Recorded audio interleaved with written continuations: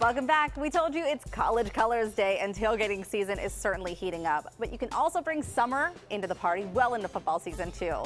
And here to keep the warm weather vibes going is Benny Ulloa from Emiliano's. And Benny, you are going to teach us how to make some summertime drinks and carry them into football season. That is correct. Uh, thank you very much for having me. Uh, yes, we're going to be trying some of the feature we have at the restaurant, um, some very fruity and, uh, and delicious drinks that we came up with a couple months ago. I can't wait, but first I have to tell you, congratulations on 15 years. It's amazing. It's been a, it's been a journey, and, uh, and we certainly appreciate the uh, patronage from uh, everyone in Pittsburgh. So yeah, we love it. Love it too. Okay, well, I can't wait to dig in and learn how to make a good margarita, although I know you're going to make it better than I am. So you're going to make a dragon fruit margarita. This is new on the menu, and I'm doing a watermelon margarita. Correct. That's okay. right. Uh, we'll we'll I'll just kind of walk you through, and then we'll we'll see. Okay. We'll see what kind of uh, if you can make a great bartender. So. I did do it once in college. I, I got to tell you, I wasn't very good right. at it, but hopefully this will be better with that's your right, help. That's right. We'll start with the ice. So go okay. ahead. All right. So we're gonna fill up one of these things with ice. I can't wait to shake like Tom Cruise. Right. Okay. That's the fun part. So yeah, we'll, we do the same. And then you were talking to me about tequila and how important it is to use the right tequila and the best tequila if you're going to make a good drink.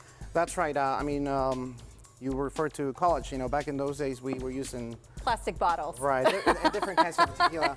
Today we're going to be using El Tesoro uh -huh. tequila, which is uh, a premium tequila uh, of ours, and um, and, it's, and it'll make a great margarita for sure. Yeah, so. smells good too. I would use this. Oh, you have the one. That okay, so. Uh, and you said three parts. Three parts tequila, one, uh, one part uh, orange liqueur. And so you said orange liqueur, and we're both using the orange liqueur. That's correct. Also filling this up to about the top here. Yes.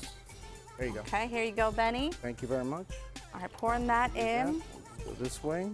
And now, is there anything else that's added into? Yes, in your case, you're going to be adding the uh, watermelon chunks there. Okay.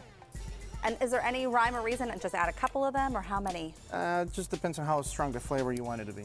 So okay. The, the flavor of the fruit to to get into the drink there. So uh, okay. I went heavy with uh, with that. And then this is when we get to do the fun not part. Yet, not yet. We we have to do. Uh, in your case, you're, uh, we're using these um, uh, uh, syrups that we make at, at the restaurant. So watermelon syrup. Okay. There.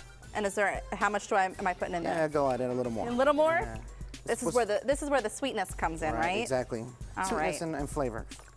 Oh, see, you use that. I'm It's okay. It's there. okay. It's okay. All right. And now, and now.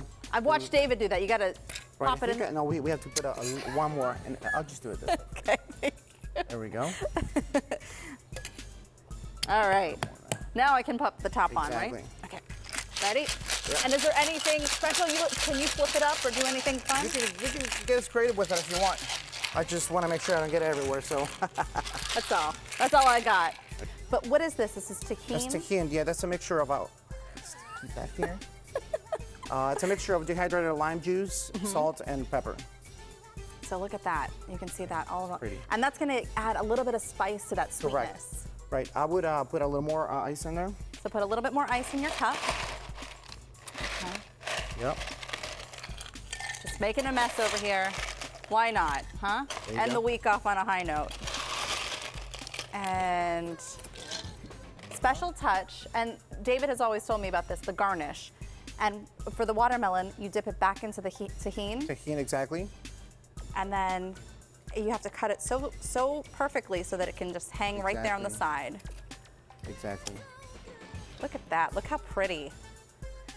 What are some of these other things that you've had added here? Uh, we have some uh, dehydrated uh, oranges. In my case, I'm going to use one of these uh, dehydrated uh, limes. Uh, lime wedges. Can I add a couple more watermelon Of course, chunks? yes, of course. You know, you I like to get those want to make at it as fun as possible. You know? So. Cheers to you, Benny, and congrats again on 15 years. Thank you very much. Thank you, Pittsburgh.